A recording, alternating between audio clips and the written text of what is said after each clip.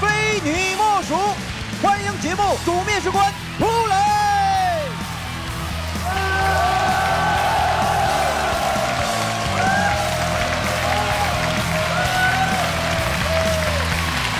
谢谢大家，来，请坐。欢迎来到天津卫视《非你莫属》，我是涂磊，欢迎所有来到现场的观众朋友们，欢迎你们。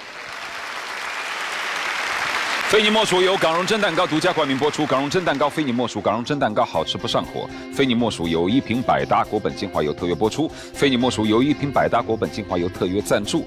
应聘成功的选手将获得由果本精华油和果本美白白骨精礼盒一份。本节目由海伦凯勒林志玲专属太阳镜大力支持。还有电视机前的观众朋友们，现在拿起手机扫描屏幕下方的二维码，下载万事达手机客户端，进入天津卫视直播聊天室，边看边聊。直播过后也可以通过天津 IPTV 网络电视或者是万事达手机客户端继续观看本期节目。来，掌声送给下一位老板。今天有新朋友，号称颜值担当，曾经是最早的网络达人的元祖，楼氏集团创始人，掌声欢迎。波士团新成员袁卓，楼氏文化创始人，中国元老级段子手代表人物。楼氏集团是国内新媒体营销内容行业领先单位，签约微博、微信大号数百名，同时设立图书和影视项目。今天我们节目是八一专场，向所有军人们致敬。来，我们有请今天的第一位选手。数次参与过武警内部的军事演习，退伍不褪色的本质会让我在未来的工作中不怕苦不怕累，向往做一名优秀的男人。二十七岁左右的时候，有一个稳定的月收入，可以让我谈一场恋爱。如果用烟花来点亮夜的寂寥，那么繁星再多的夜空也会被夺目。王爱国，男，二十二岁，辽宁人，西安政治学院经济管理专业。大家好，我叫王爱国，今年二十三岁。浅浅的二十三载春秋，没有赋予我多么高大上的学历。今天，呃呃，我向往做一名优秀的男人。于二零一三年九月应征入伍，服役于武警山东省某支队。在部队期间，作为列兵的我，参加过总队级通讯培训，数次参与武警内部军事演习。今天，我脱下了神圣的军装，来到非你莫属的舞台。我力求一份锻炼，呃，能力强。啊，业务拓展宽、晋升空间大的销售以及运营助理的岗位，以及各位 boss 认为更适合我未来发展方向的岗位，谢谢。崔老师你好，有点小紧张。你紧张什么呀？你不是嗓门挺大的吗？什么叫优秀的男人？就是在场 boss 都很优秀啊。他们都是优秀的男人。就是他们至少可以来抉择我嘛？他们抉择你？对呀、你怎么不说你抉择他们呢？因为我是来应聘的嘛，我最终的去留都是 boss。互相选择嘛。你是来求职的，但是也是来实现自己价值的对对。啊。你是多少年入伍的呀？一三年九月第一批秋季入伍，那什么时候退伍的呀？一一五年九月你，就当了两年兵是吗？。对义务兵。退伍的时候留恋吗？退伍的时候还行，我感觉当兵嘛，只是把一个简单的事情重复做，重复的事情坚持做。这两年军旅生涯是一种锻炼。我想做一名优秀的男人当中，我经历了很多事情，然后这些事情对我未来的发展可以起到很大的帮助。你再给我阐述一下一二三四，什么叫优秀的男人？我还没听明白。首先，一个优秀的男人应该有责任感，有担当第一。要有责任感，有担当。对。第二第二，第二，我认为他应该有一个拿得起放得下的事业。第三点就是认真啊，对感情要专一。你认真吗？你对感情专一吗？我对感情想专一，目前没有。单身，想专一，目前没有谈过喽。谈过以前谈过一个，怎么分的呀？那时候年龄太小了嘛，然后后来就去当兵了，一点点就断了联系。那你这个退伍之后，你干过什么工作呢？退伍之后，我在服务店儿呃，在那个烧烤店上班做服务员，我是应聘去的。怎么应？聘呢？至少你的长相五官清正吧，是吧？至少能看得上眼。我这样可以烤串吗？您适合当主持人。不是你，如果按照你这个说法来说，那梅向荣是绝对不能去烤串店的。谁说的？我这样的才当烤串圈了。哎，看你看都吃成这样了。他说要眉目清秀，脑袋大脖子哎呦我粗一看不是老板一看就是因为当时面试我的主管就是这么说的。面试你的主管说说我做烤串要面目清秀，就是我们家的服务员只要帅就可以。只要帅就可以。就是我虽然帅的不那么明显嘛，但至少我还可以，是吧？哇，你这个情商不但高，而且语言能力强，这 啊，这哪里有人晒得明显的？高，情商高，语言把控能力也强。对，我帅的不是那么明显。我想专一没有啊。哎呀，这这话真是啊。那那么在烤串店干的怎么样？是是那种带销售的营业员吗？对，带销售的营业员。那你要推销吗？啊需要推销的，因为菜牌上没有说说才给我们提哎，你给我推推啊！我现在正好饿了，你啊，推一下行，，推一下您。是自己来还是？你说我们都在呢，我们都非你莫属的这个 boss 团，然后这个下了节目之后去吃烤串儿啊那领导您好，领导。啊，领导对，我啊一般都是称呼客人都叫领导。啊，我们的极品串儿和极品羊肉串儿是特色，然后极品，对极品羊肉串那得多少钱一串？三块，那菜盘上都有价钱。才三块，极品。对对对，啊人距离比较多的话，老板都会要的。我们今天不吃荤，我们只吃素，我们所有的餐务标准不超过一块钱的烤串儿。那领导不好意思，那咱咱有免费的茶水，咱可以坐着慢慢看一看菜牌，可以吗？你的意思是我是来喝茶的喽？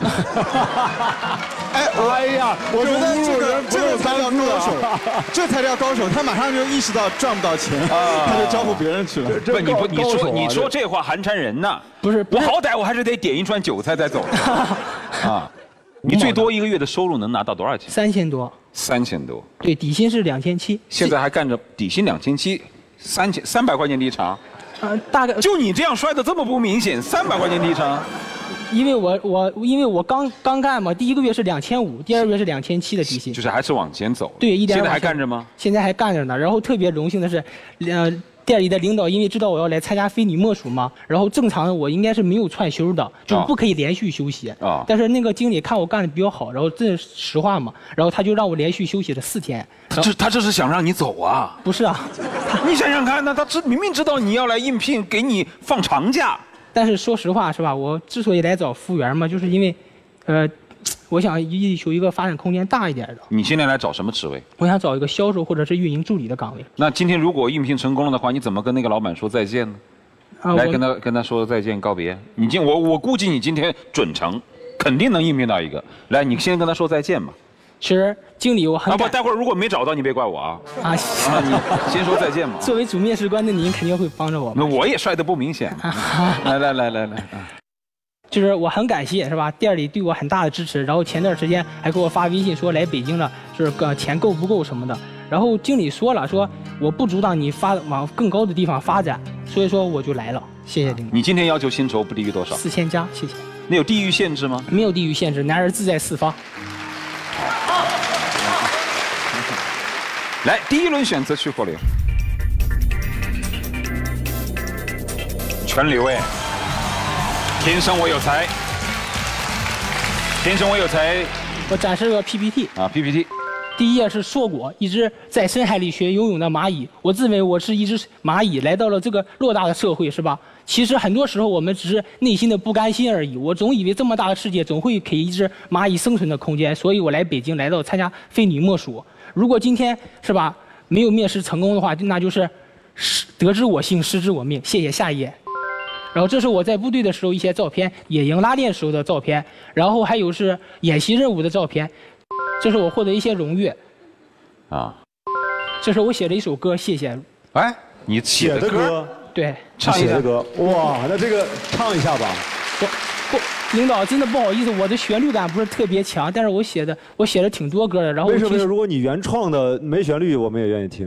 啊，我们特别不喜欢你随便来点旋律呗。我可以给他朗读一下，可哎，不不不，唱。唱。真的要唱吗好，大家鼓掌。忽然翻开了日记，尾随着记忆的回忆，从来不知道清晨的梦想会让我停留在哪里。你总是微微的吹醒我，松开那别急，别急，别急。行。忽然我的世界没有了你哎，，怎么就变调了？没问题，唱这这是说挺好，唱，这挺好，是说唱挺投入的。就变这是说唱调了。忽然我的世界没有了你，我总是怀揣着那本蓝色的日记不。不不不对，好像每一句都是一个调儿。对就叫哒哒哒哒哒哒哒哒哒哒哒哒哒哒，就是一都是一个调儿。，boss boss，真的我真的差点被你忽悠了，你看，都是一个调儿。如果说不着调嘛，确实是因为我特别的不懂旋律感，但是我但是我对我自己写的东西还是挺认可的。我感觉是吧，真实的舞台我就展现一下自己，就是把自己真实的唱功也唱给大家。他们既然敢听，我为什么不敢唱呢？而且好像你还会跳舞，啊，只是爱好瞎跳。你还会跳舞？不会也是一个动作吧？展示两段吗？来来来，什么舞啊？就瞎跳的一个瞎跳，你就来瞎跳一下，我看看。给他随便来点音乐，他瞎跳。街舞谢谢街舞，来点音乐来了。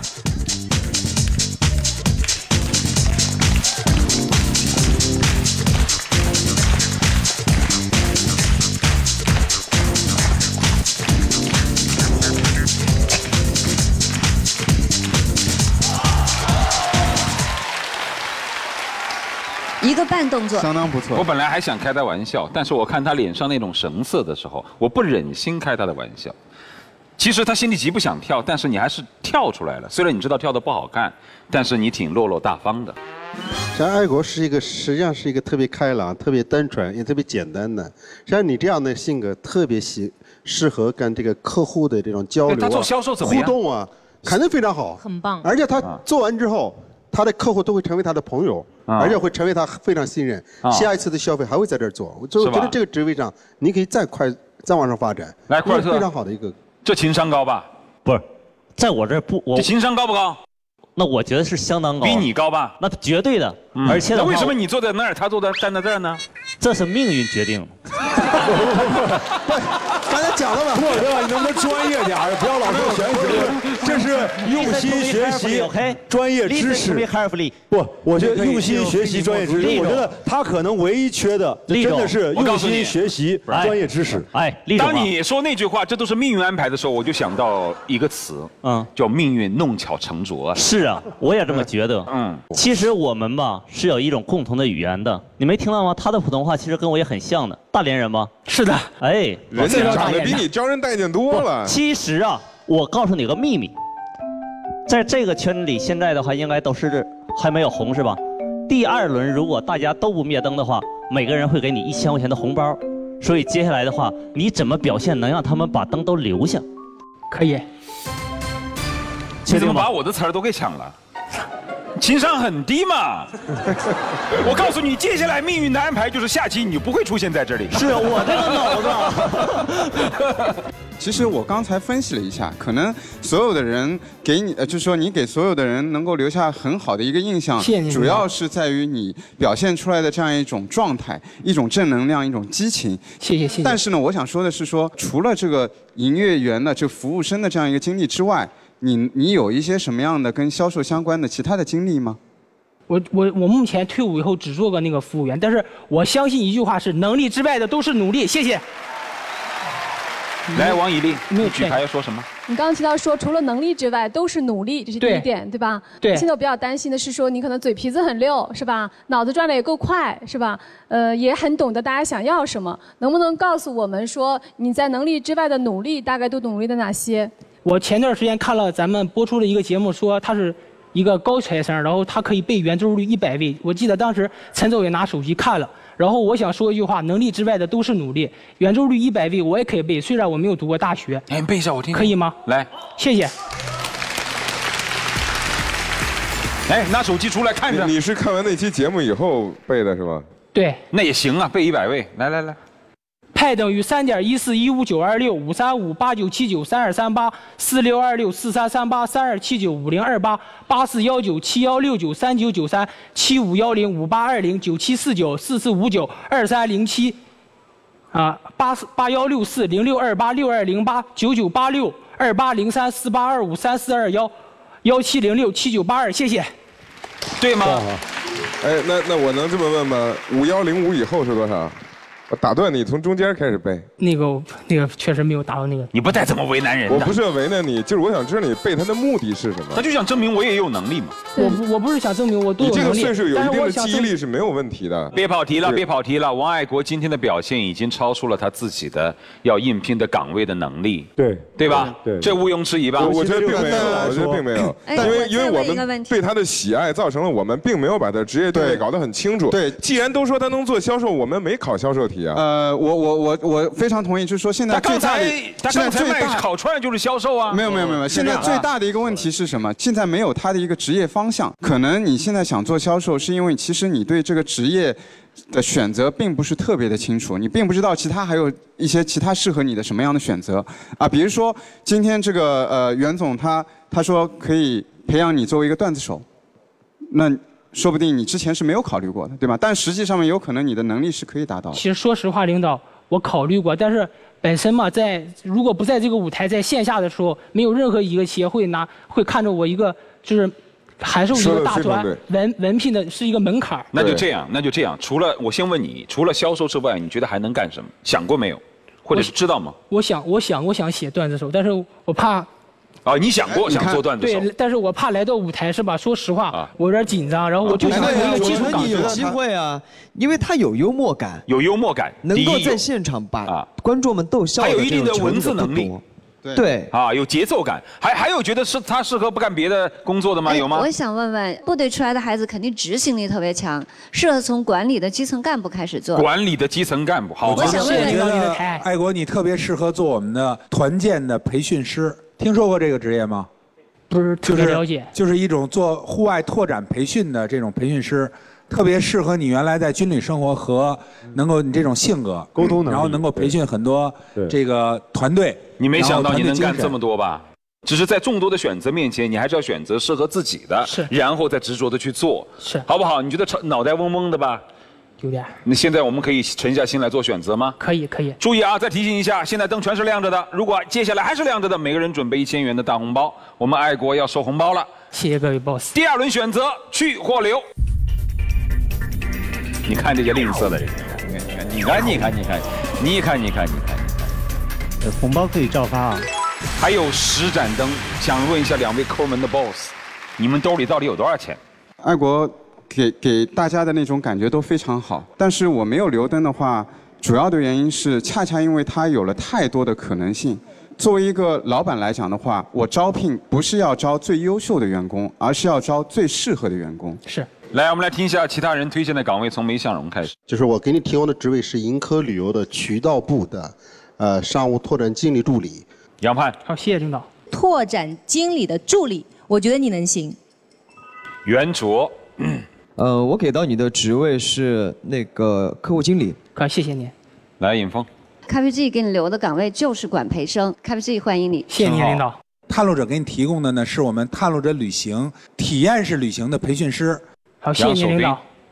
我想给你的职位呢叫合伙人服务干事。我看你的这个座右铭写的叫“能力之外都是努力”，是吧？是的我想说的是，能力之外不仅只需要努力，还需要机遇。啊，掐指一算，你命中缺我。谢谢您，领导。石小燕。嗯，我现在给你的就是一个实习生的职位。谢谢您，领导。就是我觉得你做行政暂时是没有问题的，因为你有执行力，你有记忆力。好的，谢谢您。来，怀志。现在特别火的视频直播解决方案的技术提供，呃，这是一个客户服务的岗位。好，谢谢您，领导。李浩洋。医学教育希望给你的是这个校区的市场招生主管的这样一个岗位。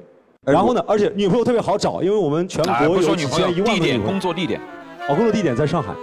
在剩下的十盏灯当中，十盏灯是十种机会啊，自己做决定，十五秒钟时间考虑一下，是吧？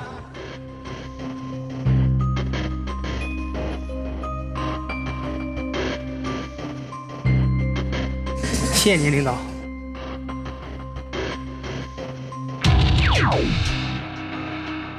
谢谢您，领导，您特别漂亮，可以抱一下。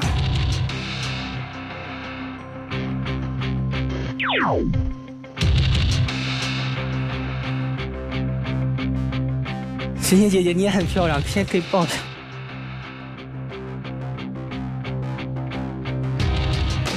哇！对呀、你还忍心你要把我都当灭了，就把自己人生全灭掉。谢谢您，boss。哇！很感谢您，很感谢您。情商真高。可以吗？可以拥抱一下吗？好，谢谢您，boss。谢谢您。还要灭两盏。灭两斩，让我让我想一下，可以吗？谢谢您，boss。谢谢您，boss。您的职位太好了，然后我感觉怕那个。再灭一斩，抓紧时间。做旅游是你绝对的选择，两个做教育的灭一个绝对靠谱。陈总，您是我的意向企业，您可以直接给我管培生吗？你刚才给的岗是我目前觉得可以给的岗，你表现好再改。谢谢您。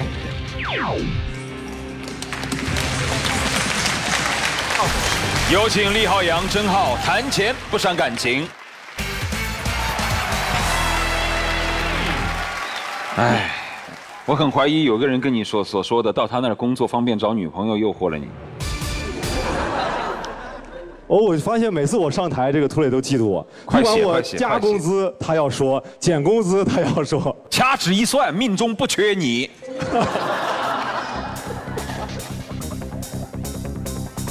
四千五，五千五。补一句啊，一定要这个找一个大公司啊，找一个上市公司。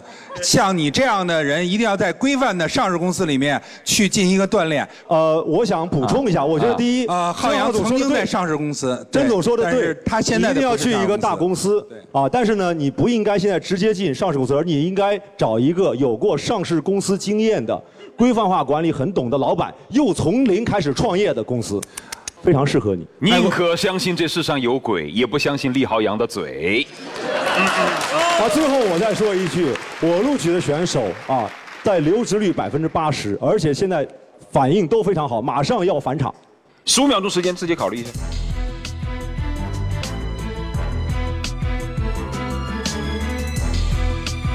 探路者，朋友印象，谢谢再见，你的选择。朋友印象。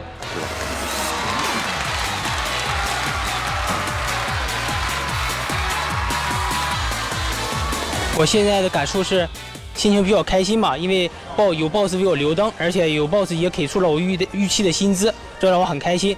然后这让我对未来的发展有很大的动力，来到这个舞台。谢谢。欢迎通过五八同城报名参加本节目，能找工作能招聘，神奇的五八真万能。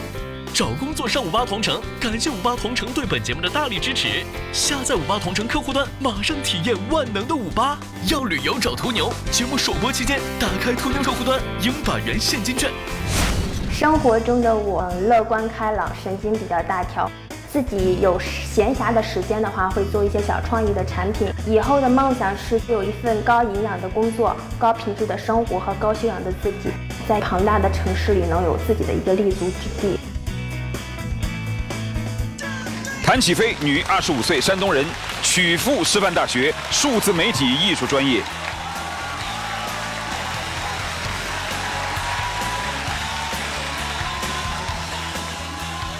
涂磊老师好，大家好，我叫谭启飞，二零一四年毕业于曲阜师范大学数字媒体艺术专业，有两份工作经历，第一份在青岛交通银行，第一个月业绩达到一万以上。第二份工作是辅助领导完成呃大项目的一个销售，呃以及方案、效果图、宣传视频的制作。今天来到非你莫属，希望找到一份有关于影视、呃销售或者是其他 boss 们认为我适合的工作。谢谢大家。你好，陈老师。是一个新生的军训教官。呃，是的，你有多高啊？呃，净身高一米七五。净身高一米七五，你怎么可以长这么高呢？呃，我们那个团队都是这么高，都这这是是这是标准。是啊是啊。哦你今天为什么穿一身的红啊？今天是八一专场嘛，啊中国红不但能衬托出东方女性的肤色，而且还对那个嗯，还很很符合这个场，我觉得很符合。为什么？有些人穿红这么好看，有些人穿红那么难看？您是说我穿红难看吗？哎，聪明，涂磊就是这个意思，稳住了。长得高，骨架大，然后来了北京之后，呃，因为男朋友照顾的好，也发福了。男朋友有多高啊？我男朋友一米九，在那儿。你们俩回去别应聘算了。你们还有很应是按照道理来说，应该是高配矮、美配丑才符合社会资源的再分配嘛。你们把优势资源全都垄断了，让我们怎么活？没有，涂磊老师，你在我心里最帅。呃是吧？不不瞎侃了，你男朋友脸上已经露出不悦的神采啊！一米九，我可怕挨揍啊！来来说一下，这个你曾经是两任的这个新生军训教官，这是需要考的还是选拔出来的？筛选二十多个人，然后升旗。呃，这二十个人呢是要训练三四个月，每天都训，就是站军姿啊，然后夹指啊，还有那个站台阶啊，就是一些基本的，就是军人的一些训练。苦吗？呃，非常苦。我曾经听说过一个共和国的护旗手，第一届的，参与我们的节目。他说有一次苦到什么程度？就这样正立踏步的时候，踩到一根钉子，直接戳穿了脚背。他还是忍着痛把整个任务完成了，整个军靴都穿通了。嗯，我们倒没有那么那么苦，但是我们就是抬腿要抬半个小时，就是这样，就是只就一直这样半个小时。对，为什么要到这儿来求职？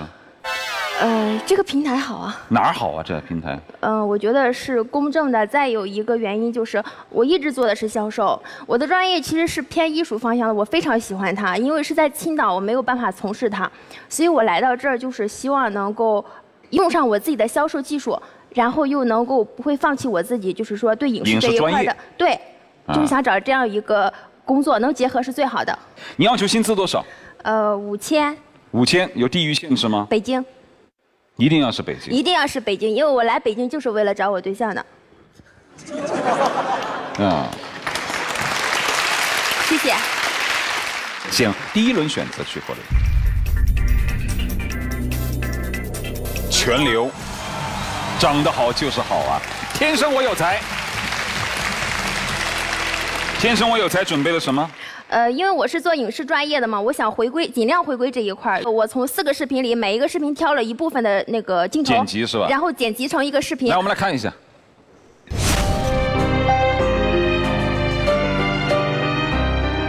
这个视频都不是我拍的，但是是我搜集的一些高清的视频，然后把它们剪成是这个样子。就是第一个呢，是想表现一个呃大的城市里面的一个工作状态跟人们的一个生活状态。第二个呢，是我对自己未来的一个期许。我希望我进入一个高效率、有营养的工作，呃，希望能够有高品质的生活。然后还有一个最重要的就是有一个有修养的自己。嗯，大家会看出这是由四个四个镜四个片子拼出来的吗？对，我就看出来这是堆砌素材，不知道怎么就能联想到你想表达的这几点。对，而且这跟你的这是你的想法，这跟你的价值有什么关系的？我们要看的是你的价值到底在哪里。呃，我看的不是你的梦想和你要做什么样的事儿，谁都向往这个高营养的工作和高品质的生活，但是你要靠自己的能力去争取，你的能力我一点没看出来。我想表达的主题就是在大城市里，人们的一个工作状态是非常高效率的，非常就是说能够有激情的去完成这个业务上的交谈，高效和激情这两个词在里边都没有，除了看出来了是这个穿的比较好，都是这个财神的西装、飞机，对吧？高大上的工作场景。你刚才说的高效怎么体现了在你的影视里？有的里面有一个女的，可能就只有呃五帧的五帧的这么一个呃镜头，很短，嗯但是那个女的是在演讲，而且是一个高速的演讲，啊，对对，小啊陈，你要不解读的话，我以为是汽车广告前面。哦回到你这种不懂艺术的人啊你不解读你不要我都没有看出来。不要问我我是不懂，但是我作为稍等稍等观众，我总能稍等明白吧？呀，库尔特，你懂艺术吗？我觉得我不懂的时候我可以请教，但我不会用质疑，对吧？我觉得你这一引导很好啊，涂老师就是专业的。你可拉倒吧！其实库尔特，你要是懂艺术的话，先把普通话练好。王以利，王以利，呃，言归正传啊，就是呃，就是起飞，你想表达的，就像刚刚我们各位 boss 问的是一样的。你通过这个剪辑，你想表达你什么能力？因为这是天生我有才，而不是我有多美，我想要什么生活。嗯，其实这几个视频呢，我觉得 boss 们说是简单的堆砌，我觉得不对。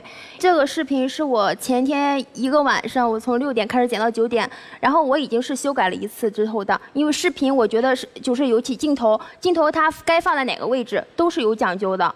起飞啊！大家已经不认同了，你在这里面我你没必要去说服而且你做的是销售，我觉得你不要再谈剪辑了，谈剪辑给你又是减分，那个视频已经减分了，对吧？再掰还是减分，谈谈你销售的能力嗯和你销售的就是以前的业绩，对不对？这个重点谈一下。我倒是想我我倒是想谈一下不要再被老板倒着走了，尤其那些误导的老板。怀哲，许怀哲，因为他提出过想做影视方面的工作，所以他把这个视频拿出来了，绝对不是做剪辑工作是但是没可加分。是我觉得这个这个东西也可以看出他的销售能力。哎，我有一个提议啊，谭启飞，袁卓就是因为呃这个视频我们不再去纠结他做的是好与坏了，好但是你的求职方向是影视类的这个工作方向，你能不能就这个视频？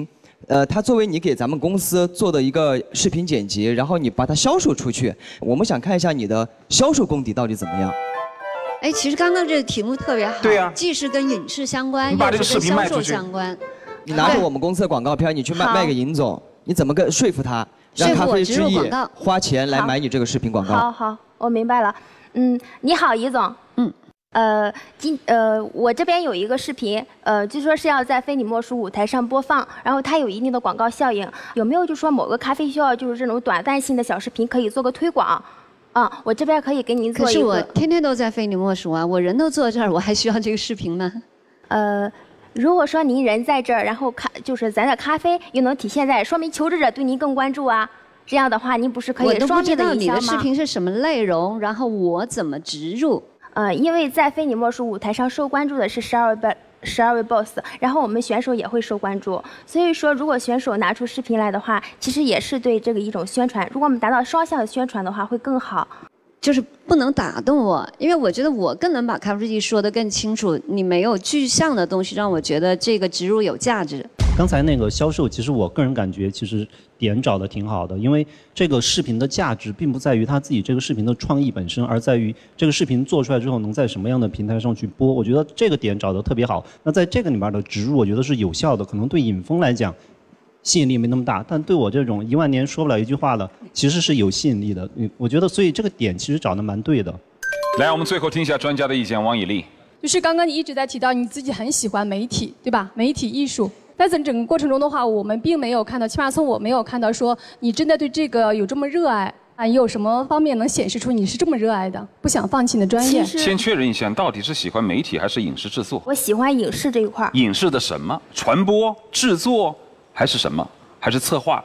到底是什么？影视的什么？我我 不是上镜，策划吧，偏策划类这一块儿。影视幕后的策划。嗯那如果今天没有与此相关的呢？你接受吗？嗯，看 boss 们给我定位应该是怎么样的？别别别看我们，你不能说我们有什么岗你就将就。我觉得你来北京不是只找你男朋友，你还要在你未来实现你的梦想，对吧？嗯。啊，所以你你要把你的梦想脚踏实地，你得搞清楚你到底要干什么呀？对啊对吧？说白而且了，影视行业他现在不知道自己要干什么。对说白了，他现在就是想要成功，想要留在北京，想过那样的生活。而且影视行业现在是缺人的阶段，因为这两年刚火爆起来，尤其是影视行业的销售、发行啊、植入啊、广告啊，我觉得你就定义在一个算是学过类似专业的影视方面的销售，我觉得是个很好的呃，对定位。，是这样的，对，就是那你用到自己没必要再的专业，再又用到再说什么自己的语策划言沟通能这些不准力。确的，对。啊来，第二轮选择徐侯雷。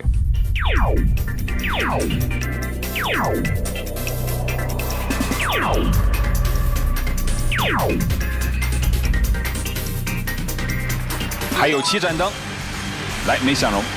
商务拓展经理，在北京。好，谢谢。触宝电话的一个广告销售的职位，工作地点在北京。好，谢谢。袁卓，非常希望你能够加入我们的团队，呃，也希望你能够给我一个机会，把我送到下一个环节，然后我们可以一起探讨关于影视销售的呃问题。好，谢谢袁总。来，雷涛。哎，启飞你好，我想不知道你平时有没有看过秒拍啊，或者是小看咖，秀？我自己一直在玩一直播秒啊拍，还有那个小咖秀。对，其实我今天本来想给大家带一段小咖秀的。来，你模仿一下看看。来来来来来来。因为我怕冷场嘛，所以我就准备了这么一段，模仿一下宋小宝的。咖啡那个是吧？呃，对。啊。嗯，但不是咖啡。皇上劝我雨 露对对对，均沾。嗯嗯嗯，来吧。给大家模仿一下，各位 boss 缓解一下气氛哎。，一定要模仿出那贱贱的样子哦。哦哦，嗯嗯。自打本宫进宫以来呀，就独得皇上恩宠。这后宫佳丽三千，皇上就偏偏宠我一人。于是我就劝皇上呀，一定要雨露均沾。可皇上非是不听呢。还不还还没有还还没有里面的原汁原味儿啊我我觉得要是让雷涛弄，雷涛肯定行雷涛 PK 一下，雷涛讲一段。雷涛表现好。自打我进宫以来呀，就独得皇上恩宠啊。我一直劝皇上呀，一定要雨露均沾，可是皇上便是不听呢。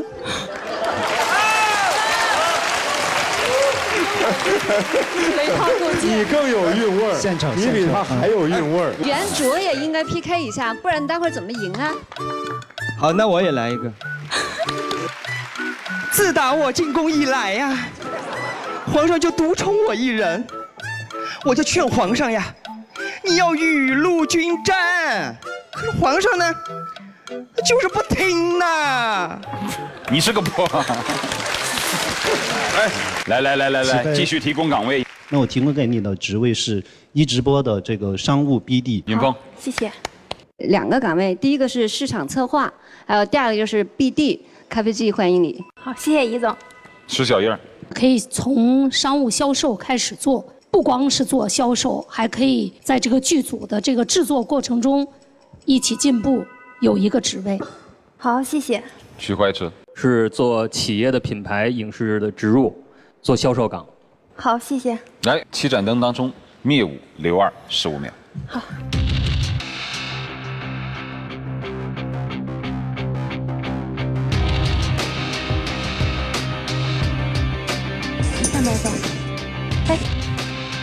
谢谢你，谢谢你。这场面我，你是不是特别恨我？没有没有我都要再变一次。你好，谢谢尹总，好漂亮。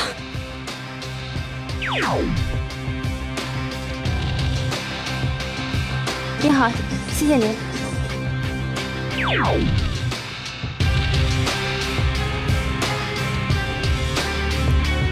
你好，谢谢您。有请袁卓、石小燕谈钱不伤感情。来，把你们的薪酬写好了吗？请揭晓。六千加五千，有什么问题可以问的两位老板？两位老板的工作地点是在哪里？具体哪个区？楼市传播的工作地点是在东直门三里屯对面。好，谢谢。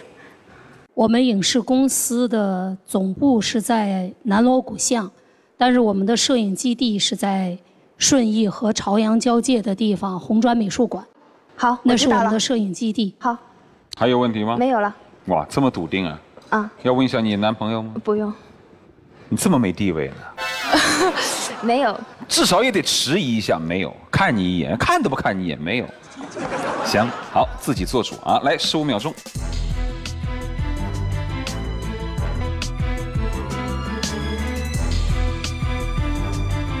伊利诺伊，l o s 或者是谢谢再见。伊利诺伊。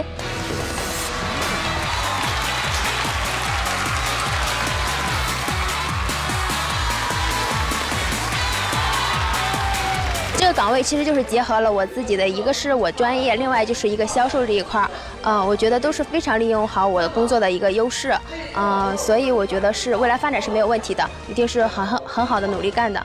欢迎通过五八同城报名参加本节目，能找工作能招聘，神奇的五八真万能。找工作上五八同城，感谢五八同城对本节目的大力支持。下载五八同城客户端，马上体验万能的五八。要旅游找途牛，节目首播期间打开途牛客户端，赢百元现金券。在部队当兵八年，不想当将军的士兵不是好士兵。我来到非你莫属，想找一份稳定的工作，在生活过程当中能够给家里面提供最好的生活条件。秦冰冰，男，二十八岁，江西人，南昌陆军学院行政管理专业。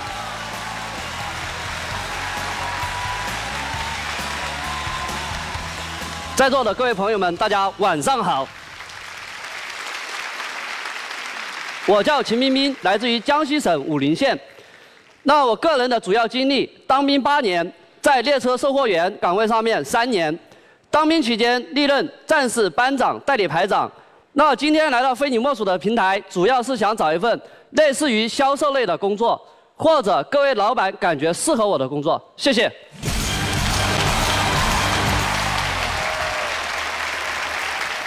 别那么严肃嘛，我们是老乡哎。是的，涂磊老师是南昌的。都没有没有谁老乡见老乡像咱们这么生涩的啊。你你长得凶啊。可能是说我当兵的，对于一些场合感觉就是说应该正规一点。当了几年兵啊？八年。什么兵种？呃，陆军装甲兵，我们是水陆两栖坦克。呃，我是驾驶员。你是驾驶员，好开吗？水陆两栖的。呃，比汽车好开一点。比汽车好开一点。是的，我们方向盘跟汽车方向盘是不一样，它是上下没有的，就是半圆形的。啊然后它档位全部都是液压档。啊。在行驶的过程当中呢，那不需要说像我们这样，呃，注意这个路上的线，啊，不能压线干嘛的？我们是有只要一段距离在里面就行了。获得过什么荣誉？呃，五次优秀士兵，一次先演习先进个人，啊一次优秀共产党员。是什么时候退伍的？呃，一二年十二月份。一二年十二月份，当了八年兵。对。现在是一个什么身份？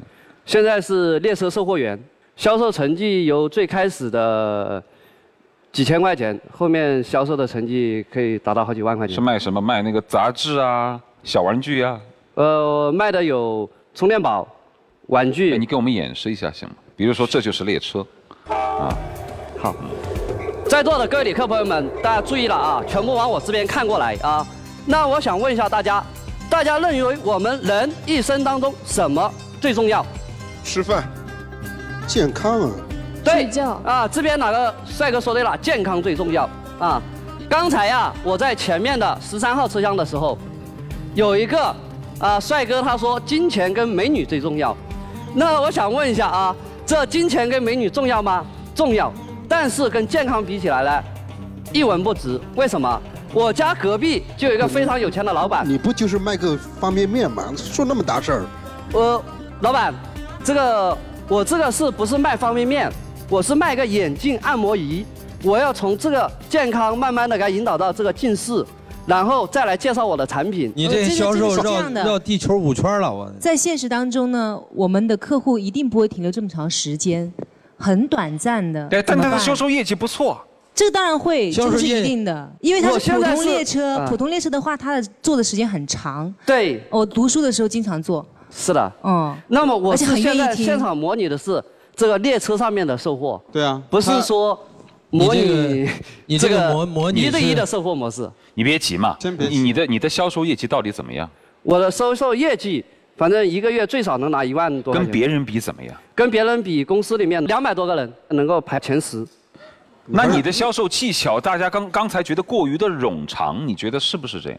呃，这个销售过程确实是很长的，啊因为我在一个车厢里面做一个广告要一个小时。呃，那如果其他人也，其实这个可能都是套路，给我的感觉就是别人也会用这种方式去做，那凭什么你这边有什么特别的？你的技术壁垒是什么？这个过程当中，我是会找一个什么借口？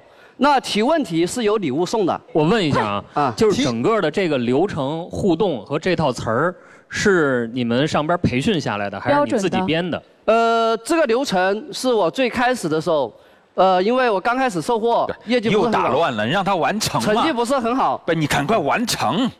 不，因为赶快完成了怎么办其实因为在这个封闭环境当中啊，他他就是这么一个销售，每我知道个人都是这我想知道他最后销售的样子是，就卖东西，就提问完了，给了奖品，最后怎么着？怎么着？呃，最后啊，如果呃接下来就是怎么说最后就怎么去销售这个产品？啊啊啊怎么说比如说这个眼镜按摩仪，那接下来我送给那些哪些朋友呢？眼睛有问题需要这款的产品的朋友，那这时候会举手，那这还不是免费送吗？接下来啊，有谁愿意花一百块钱把这产品买回去的，把手举一下。啊，好好了，可以，我知道了，我知道了。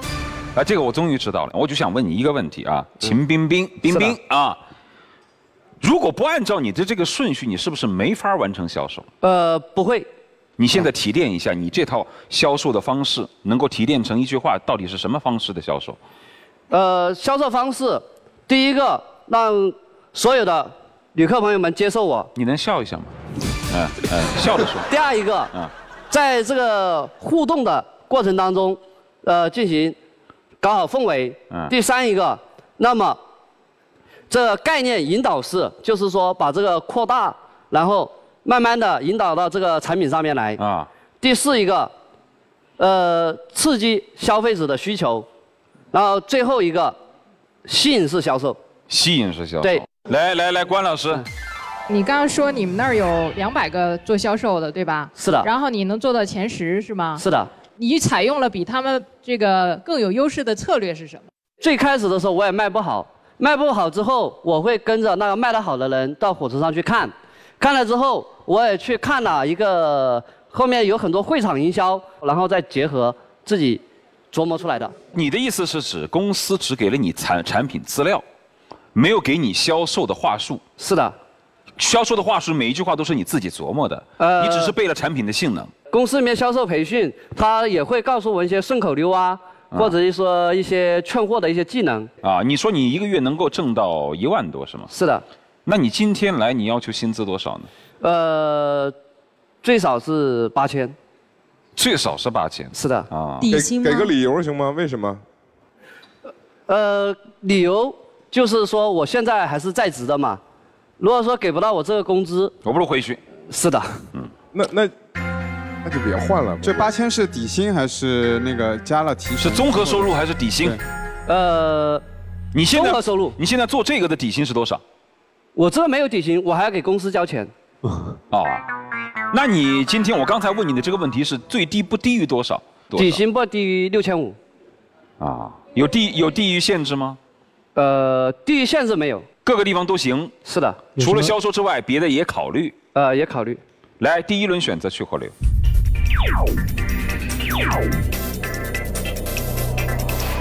还有施展灯，天生我有才。天生我有才，除了刚才那个销售展示之外，你没准备别的是吧？呃，是的。那我想问一下，今天我们把重点落落稳一下，就嗯除了销售，你还能干什么呢？我今天最主要来就是找那就是销售呗。是的，那就是销售呗。呃，我能问那个哎冰冰，我给你，我给你来刚才说那个加的那个问题持一下啊。来，真浩，这个你的这个场景，只有跟我这个行业是最贴的，知道是什么吗？呃，探路者。你这个场景实际上是在我们所有跟团游的场景下是最贴的，叫场景式营销。对，因为特点就是你比如列车的特点就是时间久，是吧？然后呢，用户会比较这个有较长的时间听你的产品。那正好，我问你一个问题，就是他刚才大家都质疑说，觉得他这个人吧比较死脑筋，好吧，我必须按这个顺序、这个套路下来。但是他销售业绩还可以，能排到前十，你认为原因是什么？我接下来要说的这个问题，其实我觉得你别看他笑的不是那么好看，但是这个小伙子情商还可以。为什么？因为他懂得去在工作中揣摩那个客人在买单的过程中的需求。但是你在未来的销售中，比如说我们在座这些 boss 里面，在未来销售当中，如果没有这种场景式营销，你怎么能够把你的这种情商和你的这种销售技巧带到一种新的销售场景中去？所以这是你的一个挑战。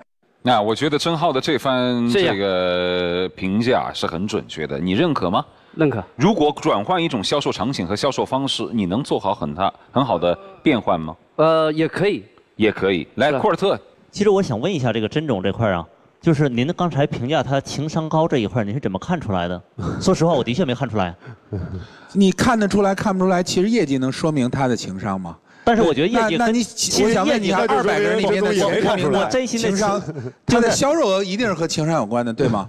就是你没看出来，你是推导出来的。他的销他的销售额可能是一万三，也可能是八千或五千，你们没我们没有办法判断。你怎么判断他的销售额是真的呢？不是库尔勒，这是因为真浩情商高，他说这句话就已经证明了。其实我就是想知道是从哪几个点，从哪几个维度，你判断出给出这样的结论。彬彬啊，不要管别人，找一个懂你的老板就好了啊。老板，其实我真的，我真的是很希望你能告诉我是怎么看出来的。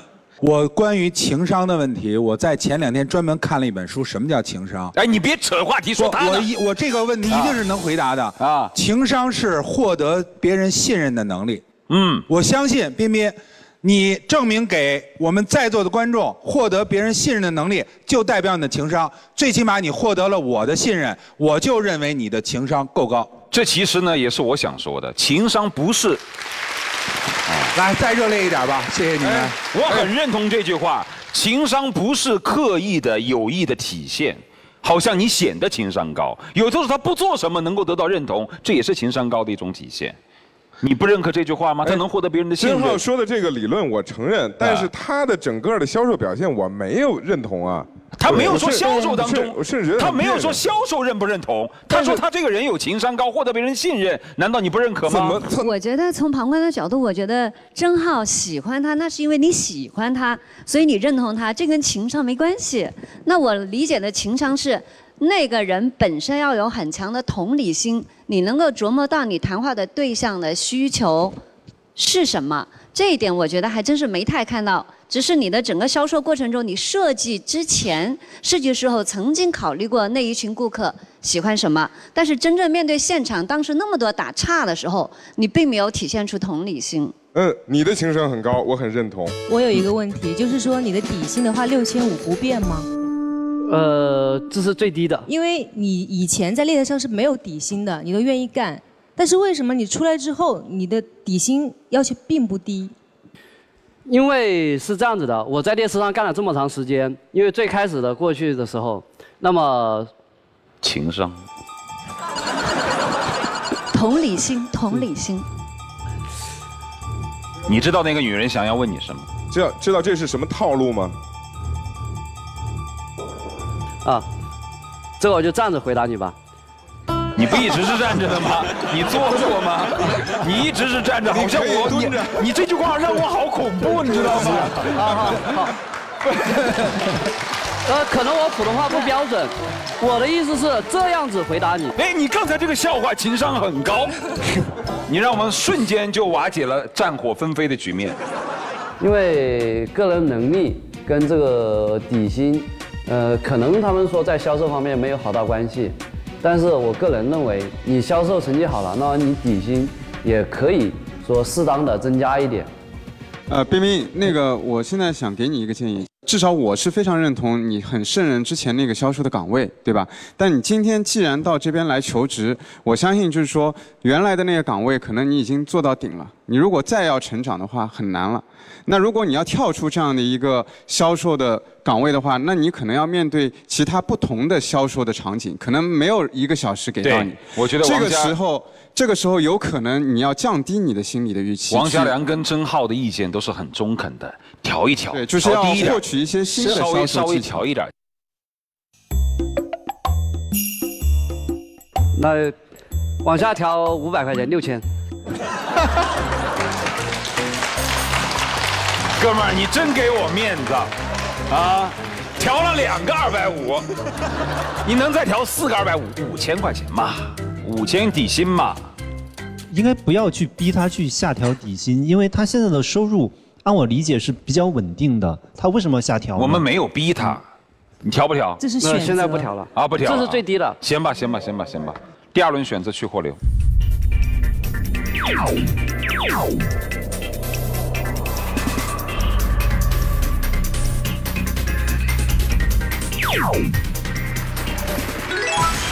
还有四盏灯，来，我们听一下他们推荐的职位，从梅向荣开始。给你提供的职位是我们盈科旅游的呃这个销售经理。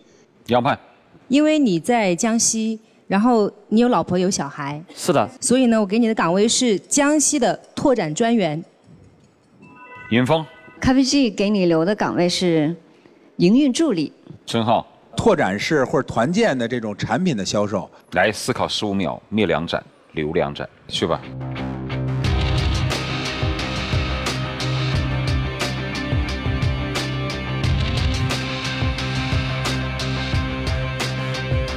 谢谢老板。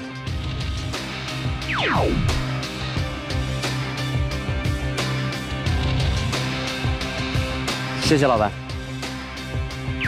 来，有请郑浩、杨盼谈钱不伤感情。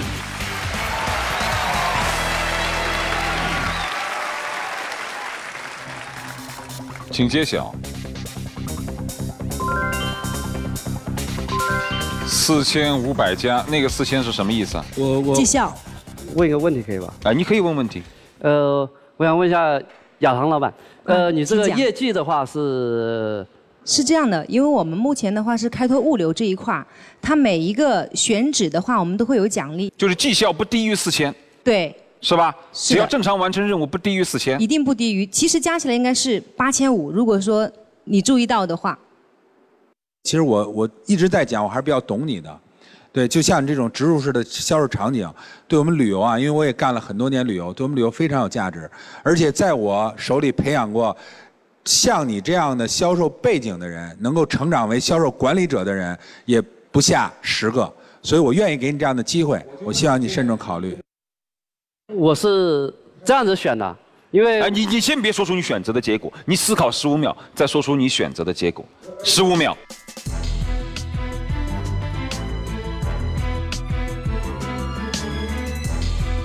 探路者、亚堂，或者是谢谢再见，你的选择是？亚堂。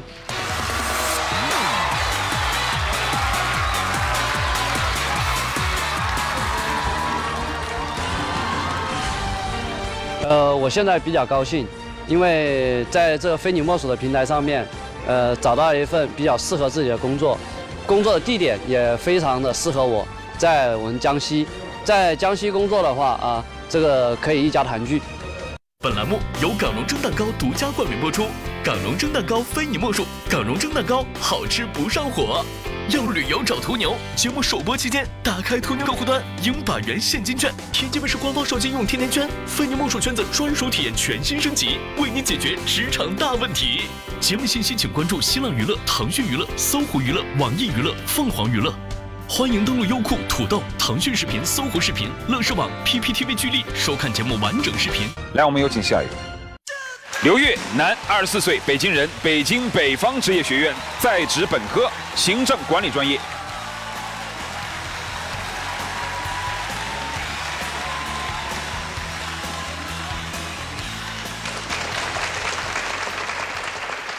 大家好，我叫刘越，是一名退伍军人，来自北京市副行政中心通州，是从去年一五年十二月份退伍的优秀士官。今天能够来到非你莫属这个舞台，我是想寻找一份有关于市场还有销售方面的工作。谢谢大家。哎，你好，站在你身边，我就不好意思再佝偻这个腰了，就必须站直了。你刚才那个姿势特别的矫健啊，嗯，这是挺胸抬头，哎军姿标准。再给我们演示一下。嗯，哎好。真好啊！你看我们现在所有的老板们啊，你看我们所有的老板们，以他们的坐姿，有谁是有潜质？我感觉呢，首先给我的第一印象呢是这位，哪位？这个啊啊啊，就是小咖秀的对雷不会吧？哎，停！雷涛，你再起立，你再起立他。哪儿好了？他哪儿好了？对你起立，起立。就是说从其他人的坐姿来看，都是比较随意的啊。然后呢，就是说小咖秀的老总呢，他是比较这个一直都是在挺胸抬头，没有后背靠在这个椅背上，哦这是部队的标准。我们接下来训练一下，好不好？嗯可以，没问题。呃，各位，如果按照这个刘越的口令，你愿意站起来尝试的，你就尝试；不愿意尝试，你就坐着。你喊你的口令，起步走，让他们到台上来。好，要想配合我的老总们，谢谢你们啊！首先，这个都有起立。太不干脆了哦！坐下，要有军人的作风，雷厉风行。都听口令，起立。都有啊，向左向右转。都有起步走。一二一，一二一，一二三四，踏步，立定，六向后转，向右看齐，补齐补齐补齐，各位同志们补齐。好，各位老板还是比较自觉的啊，各位老板。不行，该训的要训的。嗯，对，包括我说话不能眼睛盯着班长，向前看，要目视前方，否则班长会发火的。按自己的个人身高进行排列。好，调整顺序。既然涂老师这么说了，咱们就来一遍啊，看自个儿找得着自个儿的位置不？以个子排头为基准，向右看齐。你赶紧去前面。这个这个这个自己调自己调你要往前面。这个还是往前面。穿高高跟鞋的，脱掉鞋。这个还得往前点。快点，快点，快点！你看，你看，一脱高跟鞋，他已经逃离不了最矮的命运了。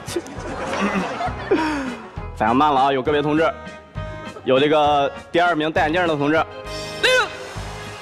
好，可以让他们回座位了。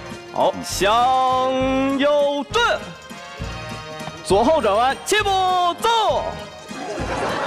一二一，跟前面走，跟前面走。一二一，一二一。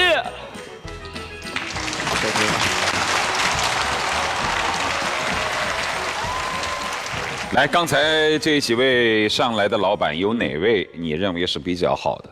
我感觉呢，从基准名字标准是厉总，非常不错的。他的一直口令都跟我走，包括呢，我让他两眼看前方，一直都没有看我，基本上对。，因为他脖子有毛病，两边。哦原来如此 那最差的是哪个？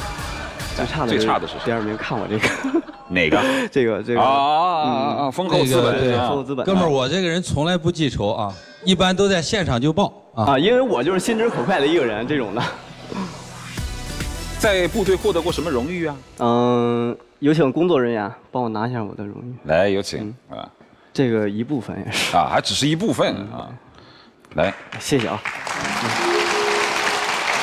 嗯，这些呢，包括我参加过一次教导队的集训，师级的，还有这个带过两次新兵，还有三次的啊大熊的演习活动。就比如说这一个吧，刘越同志在二零一二年度御体指挥士官集训当中工作突出，成绩优异，被评为优秀学员，这是你我印象最深刻的吗？对我感觉是最深刻的，因为呢，这个阶段也是在部队最辛苦的一段时间。哦当时是八个多月的时间，是为期最长的了。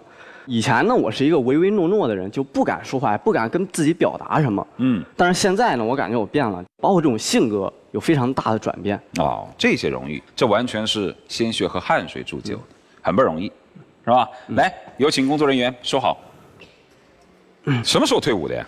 呃，是从一五年，就是去年的十二月份。有一阵儿了。嗯，对。找工作了吗？嗯，找了。现在就是说，在这个人力资源公司做猎头顾问助理，还有这个办公室助理。今天来应聘的是什么职位来着？基础的这种销售岗位。要求薪金多少？嗯，薪金呢是四千。四千，有地域的限制吗？嗯，北京。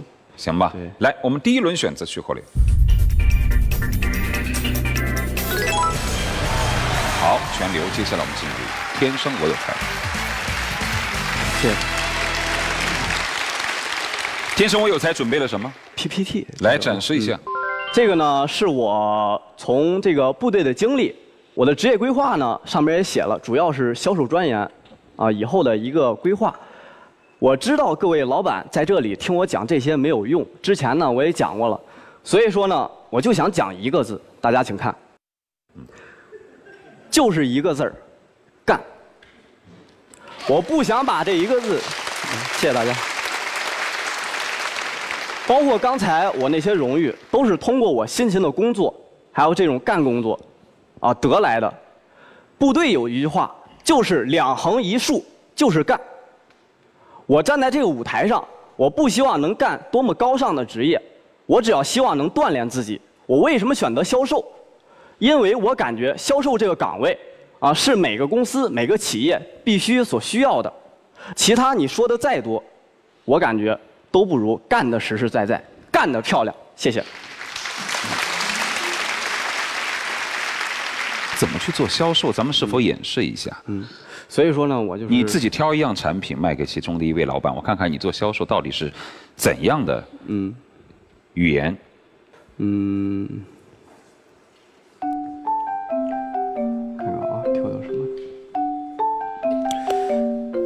挑咖啡之翼的尹总。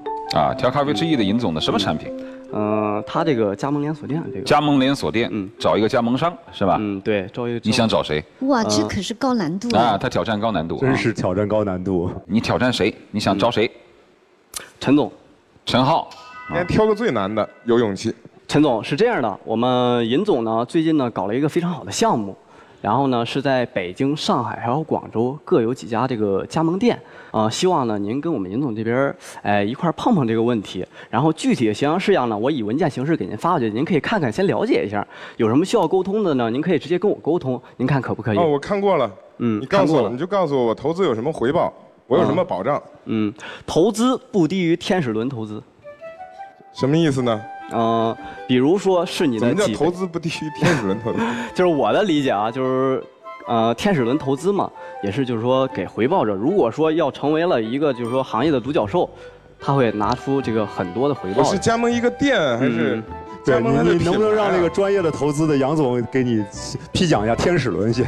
我这个首先说他这个。呃，学习能力特别强，这一会儿拽出来仨词儿，嗯但很明显他都是恶补，就可能昨天刚看到的，是吧？什么天使轮啊，什么给你这个独角兽、独角兽啊这些概念，对吧？其实他不了解。对，那什么叫天使轮？对啊，其其他的就不知道了，陈总，这是实在的。刘越呈现出的主要问题是热情有余，智慧不足。那我想问，最后在第二轮选择之前，问一下三位专家，你觉得他比较适合哪个岗位？除了销售之外，你这种，因为你从这个呃人力资源的这个猎头公司的顾问助理转到销售，这是一个职业转换。我也想了解一下，我很好奇你这个职业转换的动机是什么？这个动机呢，我就想更好锻炼自己。通过这个猎头这个岗位呢，主要是接触人。我自己认为是企业内部的，我想去走入这个社会，跟社会更多的接触，去销售。呃，从我们接收这个复转金人给安排的岗位呢，更多的是一些服务性的岗位，比方说这个司机呀、或者是党群办的，呃，负责工会的、负责离退办的这样的一些岗位，是我认为他们是能够胜任的。服务性的岗位，嗯，接不接受？嗯，接受，也接受，接受。来，第二轮选择去火流。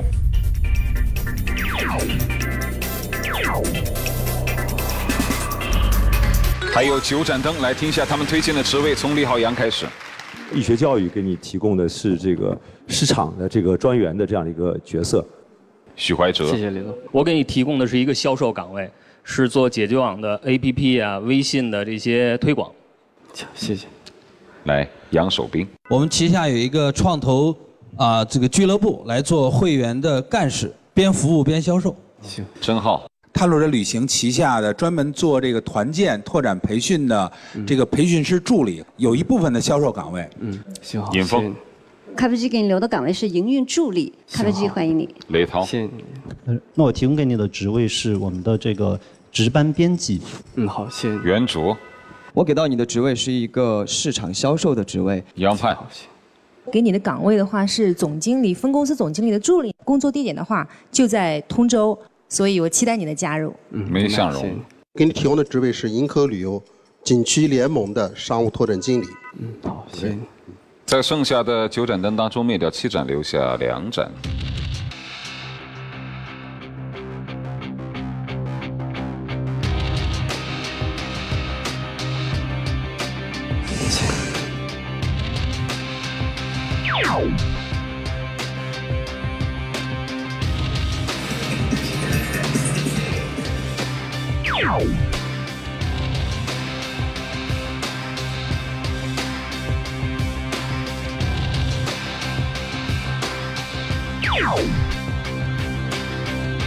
谢谢。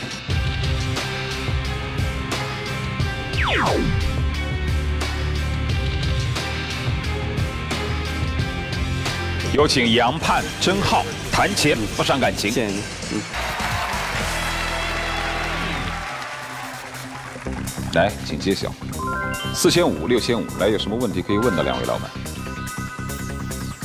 没有，就是我对薪资就是没有什么要求，就是说够吃饭就行了。行，那我来看到你的选择。来，十五秒钟。嗯。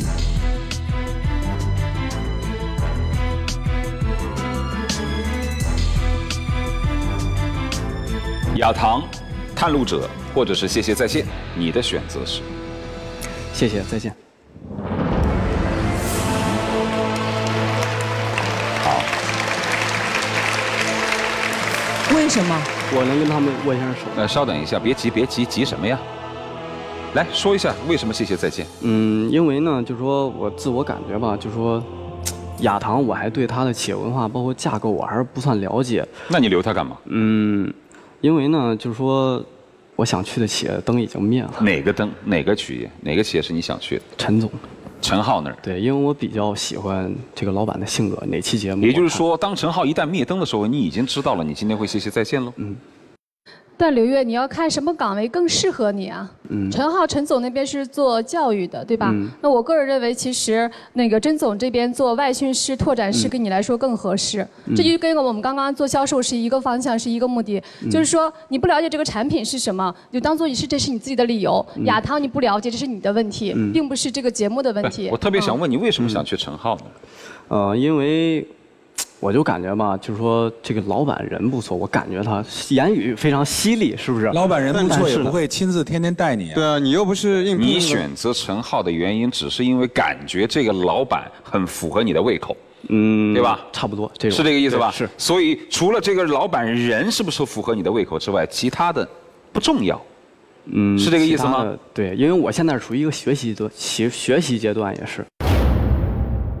来，咱们为了刘越，你想不想问问陈总为什么不选你？我觉得这可能对你有帮助。你想不想问一下？对就是陈总刘越为什么不本来你一上台啊，我嗯相信十二个人的感觉几乎可能高度统一，都认为你是个执行力强又很实在的人。嗯对但是销售一演示，就把这个印象拉低了。为什么？